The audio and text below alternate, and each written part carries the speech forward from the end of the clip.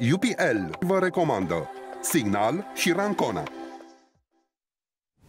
Bun găsit, doamnelor și domnilor! Agricultura o șansă pentru România. Haideți să rămână așa, nu doar un slogan, ci o credință pentru mulți dintre noi. Să vedem însă până la sfârșitul anului pe unde scoatem cămașa și dacă o să avem suficienți bani să mergem și spre anul viitor. Și când spun dacă o să avem suficienți bani, nu mă gândesc numai la agricultură, că fiecare fermier mai mare, mai mic sau mijlociu, poate că și-a pus ceva deoparte, că așa e nu, normal să-ți faci provizioane pentru vremuri grele și să începi un nou an agricol. Să vedem dacă statul, care e darnic în această perioadă, tocmai înțeleg că s-au plătit vreo 800 și ceva de milioane de spăgubiri pentru secete către vreo 26 de mii de fermieri, dacă statul va mai avea bani. Astăzi o să privim lucrurile din punct de vedere strict contabil. O să facem analize economice și financiare alături de colegul nostru de la Profit TV, celebru analist financiar și economic, Constantin Rudnițchi. Am spus așa, domnule Rudnițchi, pentru că ne cunoaștem de mult și nu sunt vorbe goale. Bună seara, domnule Rudnițchi. Uh, bună seara, domnule Lența, dacă vreți așa mai oficial. Mulțumesc pentru invitație. Asta a fost partea oficială, de acum pentru că ne cunoaștem de foarte mulți ani și am lucrat împreună, nu o să devenim colocvial, dar așa de e acord. normal într-o emisiune. De acord. Domnule Rudnițchi, uh, agricultura e baza în general a foarte multor societăți. A fost la un moment dat activitatea preponderentă în România. Între timp ne-am dezvoltat. Agricultura mai reprezintă doar undeva sub 5% din alcătuirea PIB-ului. Poate de aceea nici nu e foarte dragă celor care răspund financiar de țara asta, dar fără agricultură nu se poate. Eu am să pun lucrurile puțin altfel. Domnule Rudnischi, de ani de zile, de când ne cunoaștem, de când discutăm, de când tot facem emisiuni împreună sau fiecare separat. Tot aud mereu că e nevoie de bani, că fermierii cer guvernului să-i ajute, că ar trebui să ne dea Comisia Europeană mai mult. Agricultura e o afacere. În cazuri extreme, cum e pandemia acum, sigur, statul s-a întors către diverse sectoare afectate. Dar agricultura pare afectată în fiecare an pentru că în fiecare an ia subvenții de la Uniunea Europeană, în fiecare an e secetă și se cer despăgubiri Poate că e nevoie de un alt mod de abordare, poate că e nevoie de mai multă rigoare contabilicească în acest domeniu. Cum vedeți dumneavoastră lucrurile? E, e o temă complicată, pentru că e limpede că... chemat în emisiune. Da, agricultura europeană e, s-a învățat, dacă ăsta e, acesta este mhm. termenul, uh-huh. adică s-a obișnuit și a devenit deja un mod de viață și de lucru, ă, să primească subvenții. Să îi se dea, da. Exact. Uh, am văzut și uh, opinii ale fermierilor, ale, să spunem, analiștilor uh, economici, dacă nu e prea mult spus, care sigur că au legătură și cu agricultura sau care se interesează de agricultură sau care studiază și temele agricole, care vorbesc despre faptul că agricultura europeană ar trebui să nu mai primească subvenții.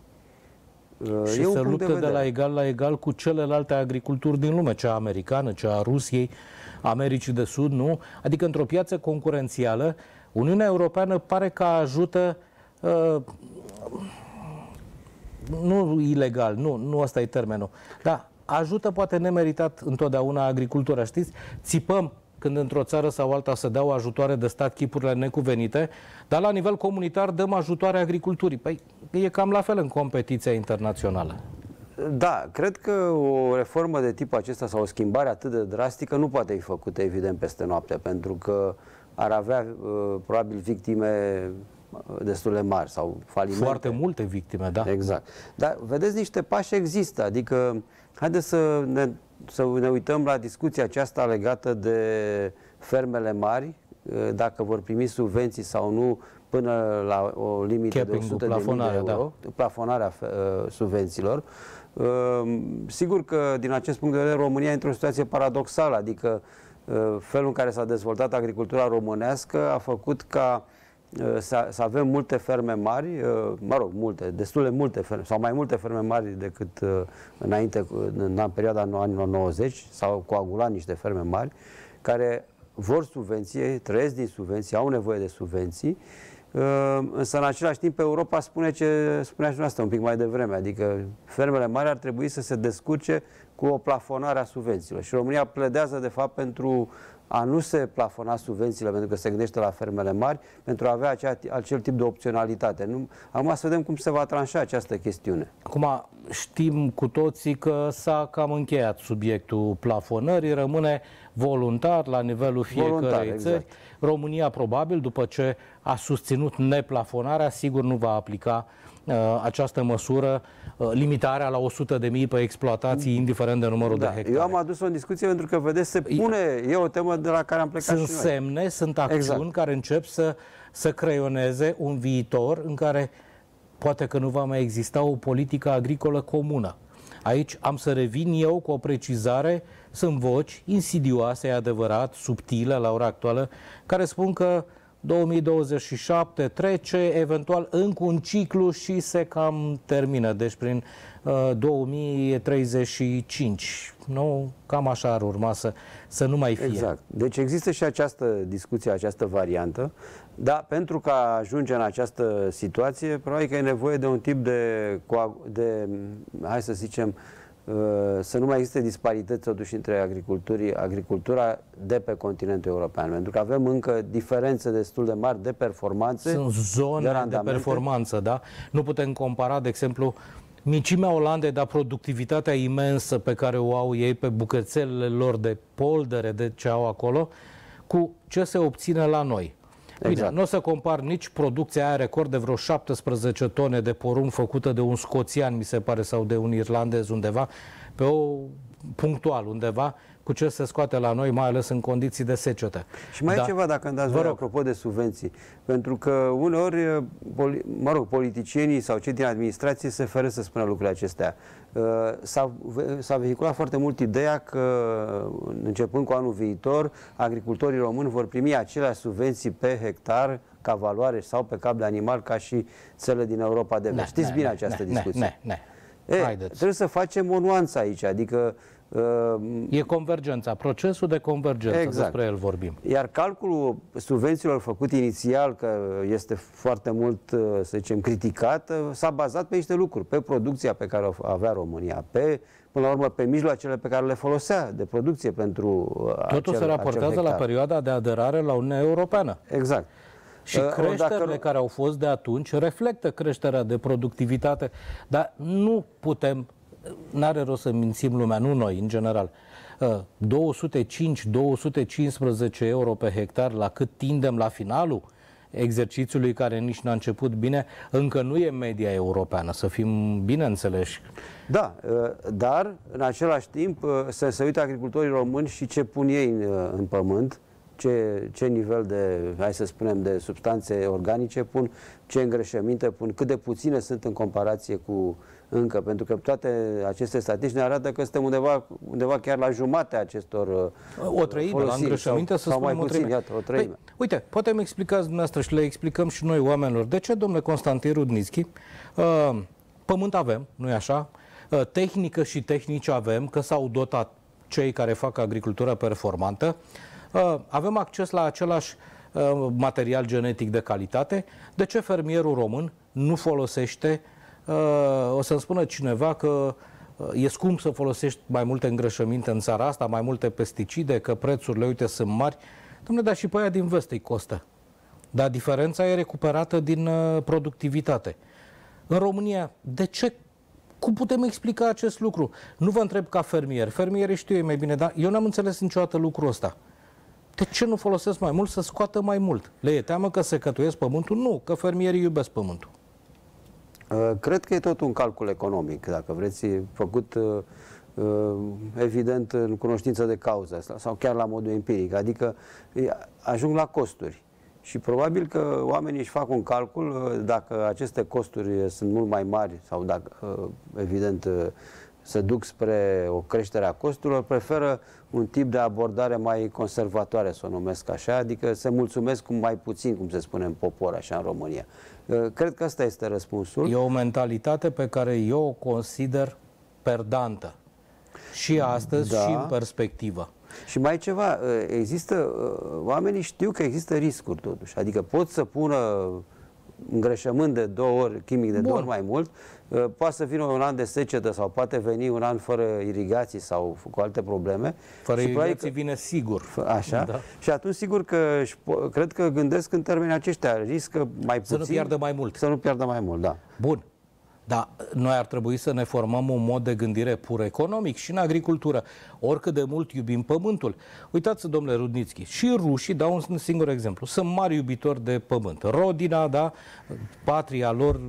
Rusia a devenit în ultimii 10 ani al cincelea exportator de grâu din lume. 20% din exporturile mondiale de grâu sunt ale Rusiei. Rusia intră acum pe piața Algeriei și tremură Uh, fermierii francezi, că era piața lor tradițională.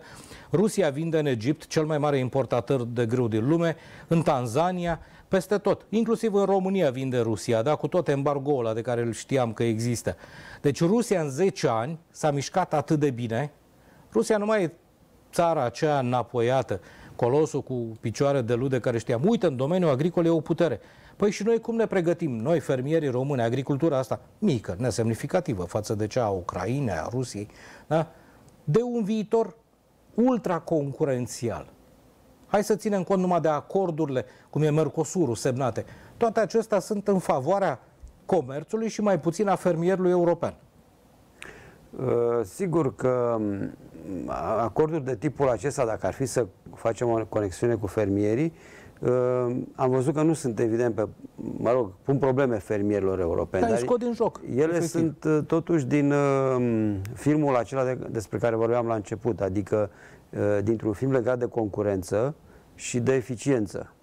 Uh, pentru că la un moment dat uh, astfel de acorduri uh, au multiple valențe, nu se uită numai la agricultură, poate că mm, Europa ia, uh, importă din uh, Uh, țările Mercosur uh, alte tipuri de produse care, de care are nevoie și le importă la prețuri mult mai mici. Inclusiv carnea de vită bate în agricultură. Bun, și carnea Soia, de vită. Da. Dar nu numai, poate e vorba și de alte, uh, alte să zicem, alte zone. Băștinaș din Amazon. Ori, da. noi, ori România, ori Europa trebuie să fie totuși, să intre într-o zonă de concurență. Uneori e dură sau uneori poate fi neloială dacă ne întoarcem la subvenții. Totdeauna aud că fermierii din nu știu ce țară au subvenții mai mari sau că polonezii știu să facă niște minuni în așa fel încât conving Comisia Europeană să le acorde mai, subvenții mai mari pentru mere, pentru carne de pui sau pentru uh, fructe. Mai Deschideți cutia Pandorei când pronunțați cuvântul Polonia, Polonia că da. imediat îmi fuge. Nu mă gândesc neapărat la mere, mă gândesc la partea de procesare. Da, o să o abordăm și aceasta. Ca o deci, până la urmă, acordul, ca să, dacă vreți, uh, cât de dureros e acordul Mercosur sau orice acord de liber schimb, Cel cu Japonia, uh, e un exemplu, cel, da. da, de, uh, e un exercițiu de, de eficiență. Va fi poate cu victime, va, e cu proteste, am văzut mulți fermieri care protestează, dar va obliga până la urmă agricultura europeană să devină Uh, performantă în raport de Mercosur, cel puțin. Sunteți optimist și vreau să vă dau dreptate, domnule Rudnitski, numai că fermierii europeni spun așa, aceste acorduri internaționale semnate cu țări cu agricultură puternică pun în pericol însă și existența agriculturii în spațiul european. Ei avansează niște scenarii catastrofale, gen film de serie neagră, care spun așa că în 40-50 de ani Europa va vinde atâta tehnologie, informație, material genetic și altele, încât își va permite să lase în uh, părăsire agricultura și să importe produsele de care are nevoie. Deși nu cred în acest scenariu, pentru că e vorba de a-ți asigura mâncarea. Uite cum a fost acum pe pandemie, ce te faci până vine vaporul cu porumb din Argentina, să spunem, da? Exact, cred că, sigur, orice scenariu e posibil și e de luat în calcul, dar, cum spuneți, uh, pandemia a arătat uh, inclusiv statelor europene că... Nevoia de lanțuri scurte de, Ultra de lanțuri scurte și de uh, un tip de aprovizionare. Am văzut blocarea unor lanțuri de aprovizionare nu numai în agricultură, și în industrie, spre exemplu, din China.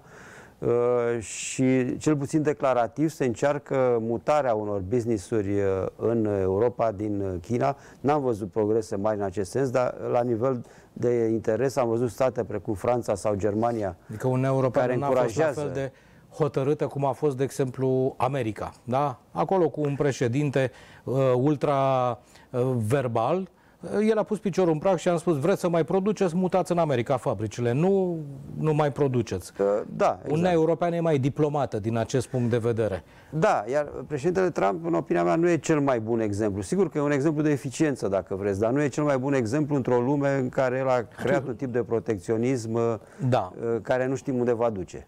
Ei, om trăi și om vedea că sunt alegeri uh, și în Statele Unite. Uh, domnule Constantin Rudnitski, uh, fermierul român are de luptat cu foarte multe, da? inclusiv cu puținătatea resurselor financiare, deși eu încep să nu mai cred în povestea asta, pentru că de câți ani s-au concentrat afacerile în agricultură, că s-au concentrat, a început să se producă. Eu pot să aduc oricând exemple în fața oricărui lider al fermierilor sau fermier, de alți fermieri care declară cu mâna pe inimă, domnul Lența, în agricultură se câștigă bani, se câștigă mult. Da? Și o știm cu toții că așa. Anul ăsta nu s-a câștigat, dar facem un ciclu de 5 ani și vă spun eu că toată lumea iese pe plus cu un SUV de ultimul model și încă o casă undeva. Domnule Constantin Rudnitski, și vă pun o întrebare ca unul care cunoașteți uh, foarte bine domeniul. Uh, ținând cont de provocările climatice, de uh, riscurile aduse de o epidemie sau de un război informațional care poate bloca o țară sau alta. Înstrăinarea unor terenuri, încercarea, mă rog, acum în România de a pune stabile e evidente prin legea vânzării terenurilor, care în câteva zile intră în vigoare, mi se pare, pe 3 octombrie, parcă. E un risc pentru siguranța noastră, pentru starea noastră de bine din punct de vedere alimentar. Știm, sunt afaceri foarte mari, dezvoltate compact, Um, care însă au fost cedate. Ca așa e în lumea afacerilor, da? au fost vândute. Eu acum stau și mă gândesc dacă în exploatația respectivă, n-am să o numesc, dar știți foarte bine despre ce e vorba, nu o să predomine culturile de lucernă pentru cămile în detrimentul altor producții, da? Asta vă întreb, dacă um, există un risc.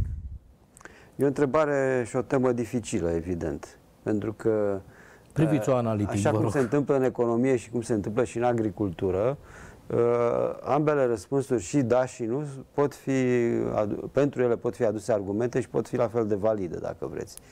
Dar dacă e să pun în balanță acum ceea ce spuneți dumneavoastră, eu aș spune că există un risc pentru, și pentru România și pentru statele europene. Uh, acapararea unor terenuri de către uh, entități, spunem, entități din străine, parte, da. în primul rând extra Uniunii Europene, dar e o discuție legată și de entități din interiorul Uniunii Europene, știți? Mie teamă și le e teamă fermierilor, ne întoarcem la discuție, Vă rog. că 2021 va fi un an foarte greu din punct de vedere financiar pentru mulți fermieri, păsuiți acum, să spunem, de voie de nevoie, cu despăgubiri din partea statului, dar 2021 va fi un an în care s-ar putea să se aleagă grâu de neghină în acest domeniu, în sensul că mulți Uh, ar fi nevoiți poate să-și închidă afacerile. Da, și nu vreau să fiu foarte cinic, dar asta e regula economiei de piață. Da, dar mă întorc la riscul de care vorbeați, pentru că sunt fermieri ca, cu mhm. acces la informații care îmi povestesc că sunt fonduri de investiții puternice, nu românești, asta e, că nu avem în România prea puternice fonduri, uh, care stau cum, mă înțelegeți, cu mâna pe bani în buzunar, gata să cumpere când apar oportunitățile în piață. Iar astfel de necazuri ale fermierilor români sunt oportunități pentru marile fonduri de investiții. Ei, riscul acesta, în ciuda legii care interzice vânzarea terenurilor către străini, riscurile rămân, pentru că sunt totdeauna chichițe, știți și dumneavoastră. Uh, da, vedeți aici mai e un plan de discuție. Uh, ceea ce a spus dumneavoastră e absolut corect, dar este planul discuției uh, individuale, să spunem, sau de business. E un fermier care are X hectare de teren și care poate primi o ofertă de la un fond de investiții. E foarte corect. Omul e terenul lui în principiu, dacă e, sau e acel teren, are, are libertatea de a-l vinde.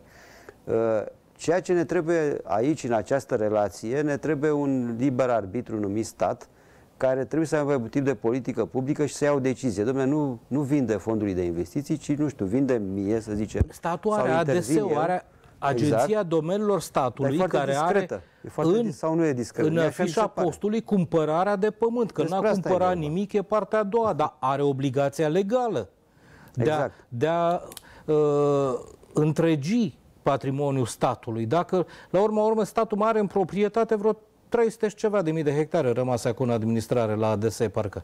Sper să nu greșesc. Până în 400 de mii, cu mult. Acolo, da? Păi, Domnule, hai să fim serioși, sunt 9 milioane de hectare folosite în agricultură și tu mai ai 300 de mii. Da, statul ar trebui să fie preemptor în toate cazurile acestea. Da, mai discret sau mai puțin discret, Bun, dar și va să avea fie. bani, domnule Rudnițchi, pentru că, iată, statul e supus unor cereri din toate părțile. Pandemia aceasta ne-a cam golit rezervele. Uh, mai vin unele inițiative legislative, cum e creșterea pensiilor cu 40%, încă o dată dublarea alocațiilor și cine știe cât o să mai fie bani în plus pentru profesori uh, și tot așa. Uh, Bugetul e din ce în ce mai strâns, ne ducem la un deficit fantastic, adică Da, 10% poate că, sau așa spun special. sunteți optimist, probabil, Sau poate alții mai merg mult, la nu știu. 11-12%, da. dar pentru cei care nu știu, aia, 10% e puțin, da, 10 parte. Pare nu e un puțin, da. dezastru, pentru că banii ăștia nu există. Da. Trebuie luați Uh, de undeva. Și Așa suferă și este. agricultura. M-ați întrebat dacă vor fi bani. În mod normal, pentru un tip de politică publică precum aceasta, ar trebui să se găsească bani și să pot găsi bani. Uh, și vă mai reamintesc un lucru, dacă tot discutăm. Statul, uh, a, chiar recent a, a apărut o, o, o lege, uh, o ordonanță, cred, o hotărâre de guvern care uh, vrea să ofere terenuri tinerilor fermieri. Da. E o problemă europeană. Toată lumea vrea să aibă tineri Joi, fermieri mai mulți. azi, azi e joi. Așa? Nu știu dacă a trecut în ședința de guvern, că spunea secretarul de stat Emil Dumitru luni aici în emisiune, că dacă au toate actele, avizează, tinerii primesc până la 50 de hectare ca să se instaleze la E țară. realistă o astfel de lege? Eu cred că nu. Adică are statul teren pentru tineri în acest moment. Ce spunea Domnule domnul Rudinski, Dumitru? dumneavoastră știți ce terenuri mai are ADS-ul? Păi a spus adinaori, mai devreme. Da, da, ce categorii, că terenurile Ah. sunt pe categorii. Categoria 1 cele mai Probabil bune. că cele Ei, mai proaste, majoritatea sunt de categoria 3 și 4, adică râpi cu mărăcini. Hai, exagerez, sau drumuri, sau foste canale de irigații. Cum să faci, domnule, agricultură acolo? Acolo duci două vaci să pască pe malul canalului, degeaba îți dă 50 de hectare de drumuri agricole, că n-ai ce să faci cu ele. Despre asta e vorba. Și nu prea atunci- găsești trup compact 50 de hectare. Că nu, dacă îți dă 50 de hectare în 40 de județe, om te-a făcut. Hai să fim serioși. Da, și ajungem, uh, am avut uh, aseară o discuție interesantă, ajungem și la o temă foarte, cu cu siguranță o cunoaște și ați, ați vorbit despre ea aici, la dumneavoastră, uh, cadastrul. Deci eu, uh, în, co- în continuare, în România este un dezastru. Două minute Cadastru. până la pauză și vreau să continuăm cu cadastrul, spunându-le uh, telespectatorilor noștri că mă uitam, neavând ce face acasă, evident, la o emisiune despre Olanda. Se numește Olanda văzută din avion, în care spunea că în fiecare an, fiecare centimetru pătrat din Olanda e vizualizat de trei ori din avion sau din drona. În așa fel încât să poată să-și construiască sau reconstruiască țara. Deci, și nu e glumă, fiecare centimetru pătrat. Deci ei au un cadastru bine pus la punct, noi avem potențial și intenții. Nu e așa, domnule Rudnițchi? Așa este. Da, dar mai avem un minut și jumătate. Știți, Vă rog. uh, nu, aveți o idee, uh, date oficiale, cam cât e cadastrat la nivel național? Uh, M-am uitat recent, recent înseamnă acum câteva luni, pe site-ul agenției de cadastru și uh, mi-a plăcut acolo că erau, uh, era un șir de comune, de zone din România, în special comune, în care uh, se anunțau că acolo va, s-a făcut sau va începe cadastrarea gratuită a terenului. Uh-huh. Mi-a plăcut foarte mult ideea, de când vrem, numai că ce, ce, ce nu mi-a plăcut era că din calculul meu erau foarte puține comune. Deci n-am acum o cifră. Uh, dar Nu, știu da. că sunt foarte puține terenuri Grosomodo, încă. fără a folosi datele lor oficiale pe care nu le am nici eu, nici o treime din teritoriul României nu e Iată, cadastrat. deci aveți ace- deci nici o treime. E Da. imens, e foarte puțin, mai ales la 30 de ani, dacă vorbim după Exact. 30 de ani că nu avem autostrăzi, nu avem Deci noi vrem să metrou ne sau nu apucăm știu de ce n-avem. văruit o țară, dar nu știm până unde sunt pereții, de unde până unde sunt pereții țării. Vă propun să luăm o scurtă pauză de publicitate, domnule Constantin Rudnițchi. Ne întoarcem la Agricultura o șansă pentru România. Cum spuneam, invitatul nostru, care rămâne și după pauza de publicitate, e analistul economic și financiar Constantin Rudnițchi, colegul nostru de la Profit TV. Ne vedem în scurt timp.